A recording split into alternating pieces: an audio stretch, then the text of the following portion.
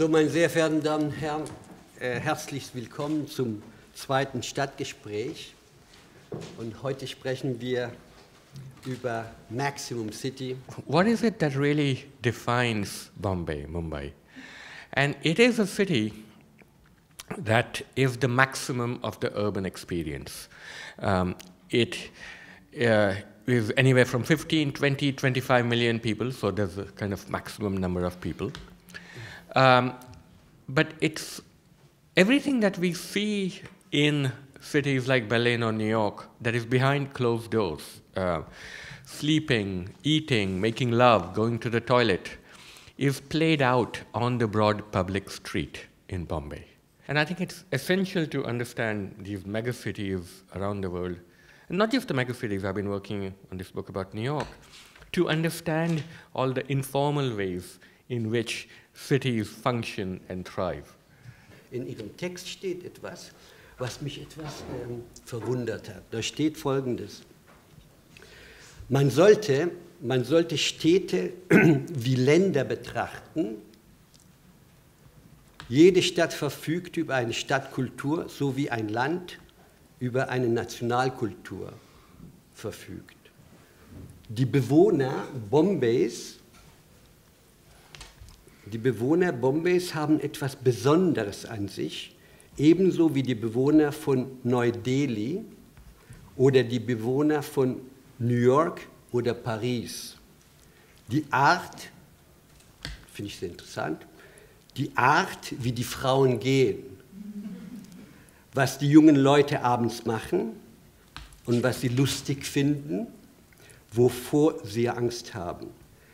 Als ich das gelesen habe, und ich habe gesagt, oh Gott, ich glaube kaum, dass wir in Berlin eine eigen, eine einheitliche Kultur haben, ähm, wie wir gehen zum Beispiel. Ja.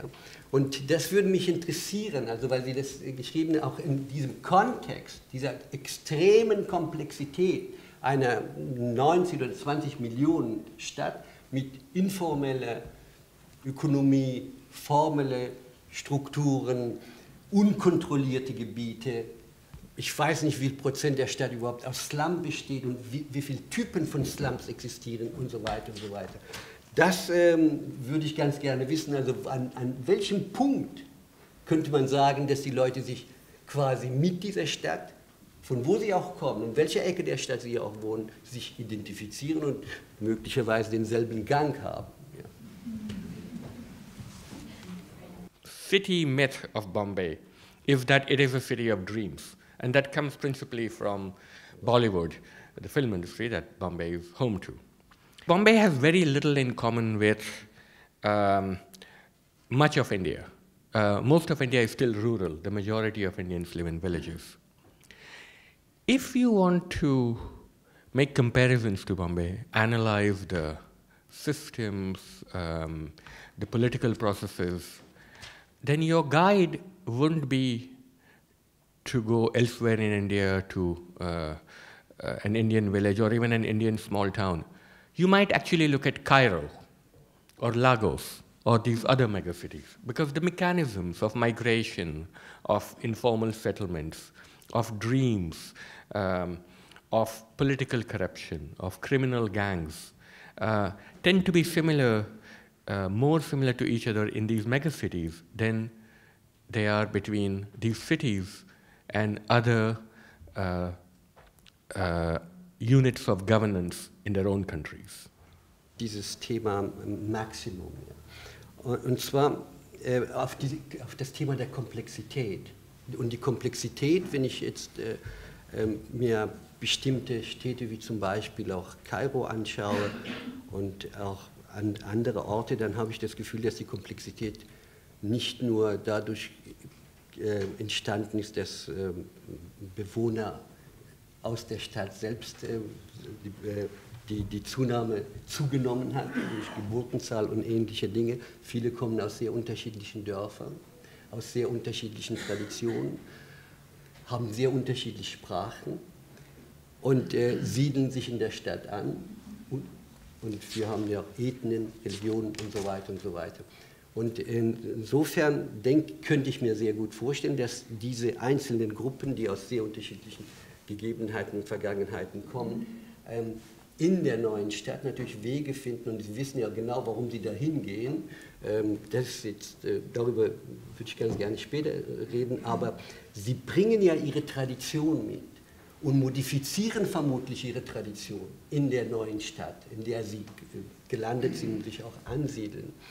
Und ähm, meint eigentlich dieses Maximum, diese unterschiedlichen Strukturen, die teilweise sich berühren können, teilweise nebeneinander sind, teilweise übereinander sind und so weiter und so weiter, ähm, meint das, dass eben eine Masse unterschiedlicher äh, Kulturen, Zivilisationen, Traditionen, Religionen und so weiter und so weiter in diesen Megastädten wie ähm, Bombay, und ähm, auch Sao Paulo zum Beispiel oder ähm, ähm, äh, Kairo oder Lagos. Ja.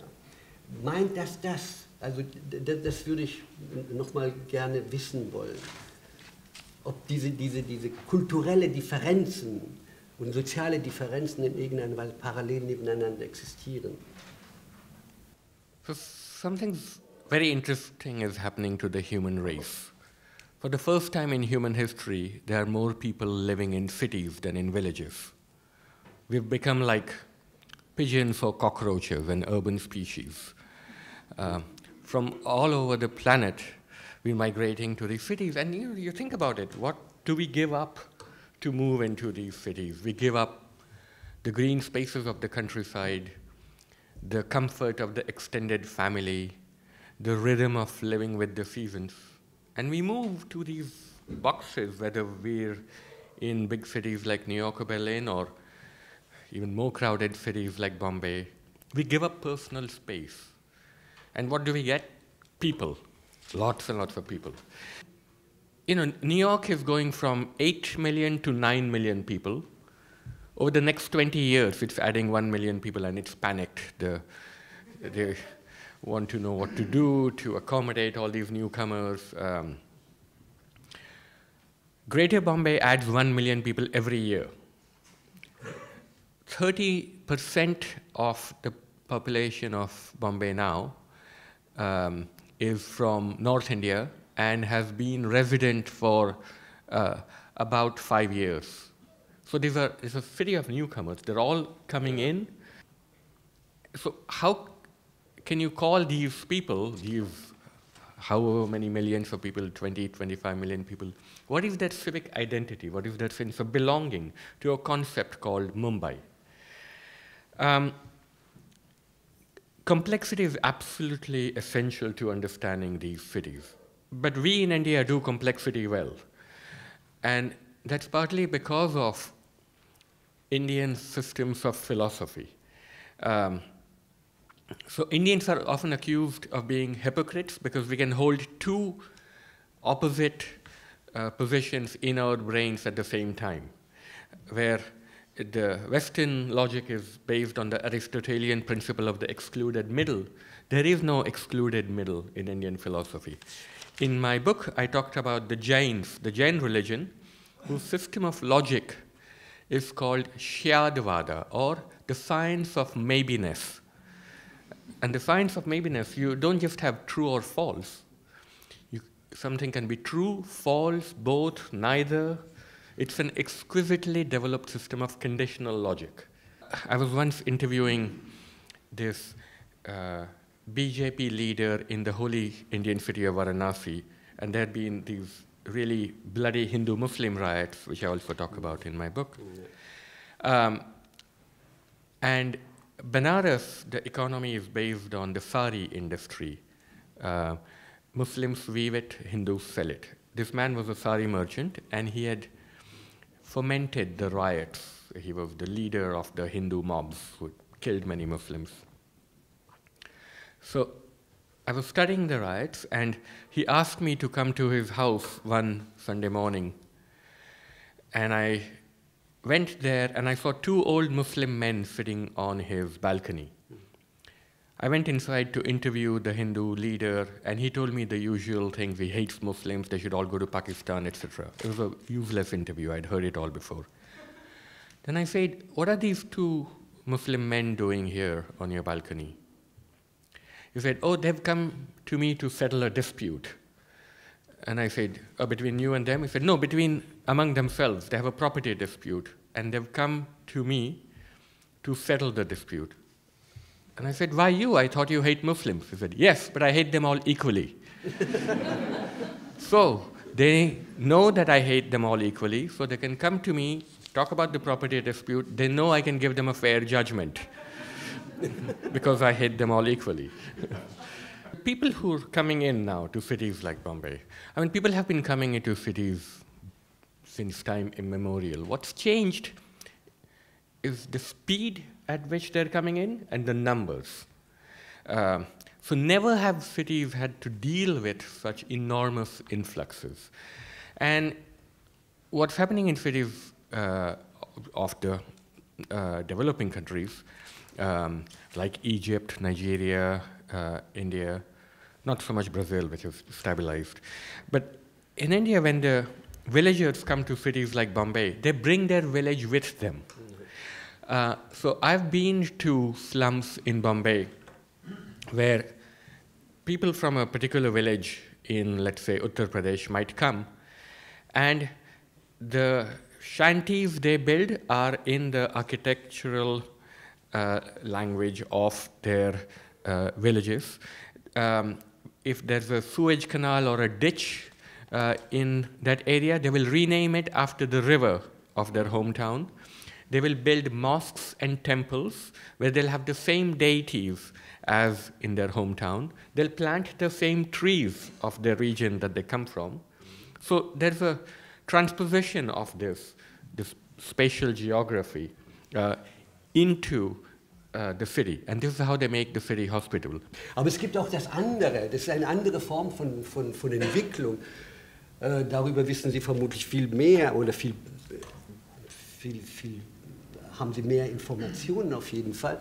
Diese große, für fast 10.000 oder 15.000 Menschen entstandenen gated communities in Mumbai, aber nicht nur dort.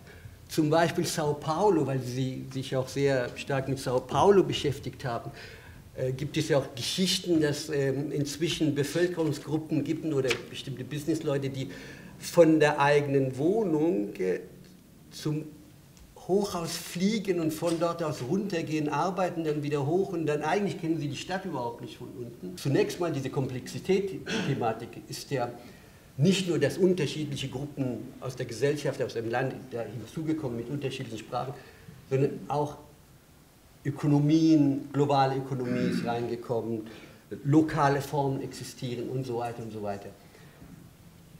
Und die entsprechen, oder ich würde sagen, dass fast in allen global oder ähm, Megastädten ähnliche Strukturen existieren inzwischen.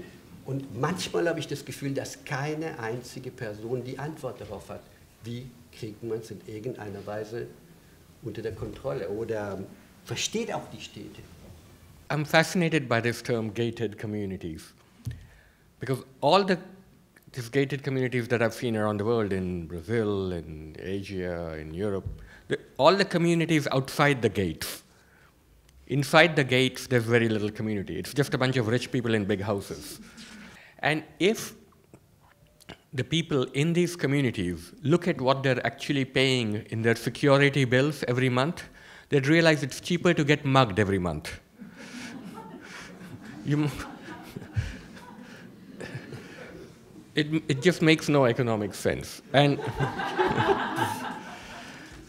and I speak as a person who's been mugged regularly in New York, in Sao Paulo. This is why when you look at you know, these lists of most livable cities that magazines like The Economist make, they're the most boring cities on the planet. I mean, who really wants to live in Calgary or Ottawa or Canberra? but these are the cities that every year, you look at The Economist list uh, this year, you know, the top 10 most livable cities are also the most boring because it, it's been cleansed of uh, immigrants, of crime, of any kind of disorder. These are the things that I actually look for when I go into a city. I mean, Bombay is a mess. Right? You can't breathe the air, the, the traffic is horrible, Uh, you'll probably get stomach poisoning in your first week there. But still, there are a million people a year moving into it. Complexity attracts human beings because we have complex minds. Ich würde ganz gerne nur, nur einen Satz noch zitieren von Ihrem Buch, und zwar da steht folgendes: Das Heranwachsen zum, das Heranwachsen zu Megastadt ist ein asiatisches Phänomen. Warum leben, fragt er dann, warum leben die Asiaten gern in großen Städten? Und jetzt kommt's. Vielleicht liegt es daran, dass wir die Menschen mehr mögen.